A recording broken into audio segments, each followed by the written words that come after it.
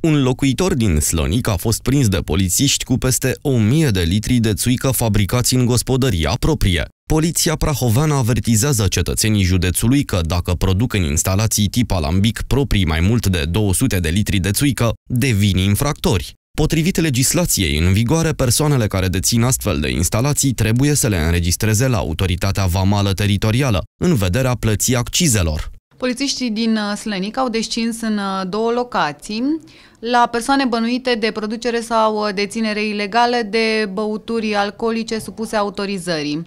Din una din locații au ridicat peste 1000 de litri de țuică. Au fost prelevate mostre din băutura respectivă în vederea stabilirii concentrației pentru ca ulterior să se stabilească exact prejudiciul adus statului. Amenziile pentru această faptă sunt cuprinse între 2000 și 5000 de lei, iar comercializarea produselor în vrac sau fără marcajele legale constituie infracțiune și se pedepsește cu închisoare de la 6 luni la 3 ani.